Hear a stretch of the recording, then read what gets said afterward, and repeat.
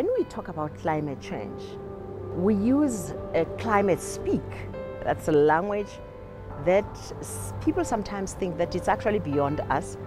We don't know what these people are saying. COP17, COP 7, and so on. What is this climate change?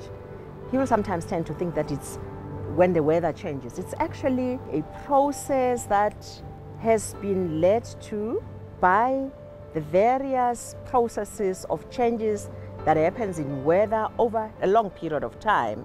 The globe warming up to the very unbearable degrees, and that also then leading to the melting of the ices, leading to the oceans now, uh, water then getting over the levels, the sea levels that never used to uh, be the same, uh, increasing disasters all over the world, increasing droughts, increasing change of weather patterns, and all those then leading to inability for the world to be able to produce food, sometimes even leading to disastrous situations that leave ordinary people in particular feel the, uh, the imp impacts of climate change more than any other pe person because they can't actually be able to fend for themselves when there's food uh, the poorest of the poor go hungry. They can't cover themselves up when it's disastrous.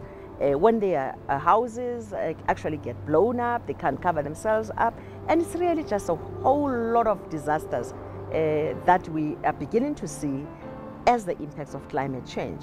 All things being equal, if we respond as the world in accordance to the discussions and the decisions that we make at world level, if each and every country makes enough efforts in a shared vision, we should be able to decrease those uh, temperatures of the world, but also at the same time reverse the impacts of climate change. It will take us longer, obviously, but we must act. And we can't see how a particular parts of the society can act alone. Let's say government, without civil society, without ordinary people on the ground, without business. Each one of us has got a carbon footprint.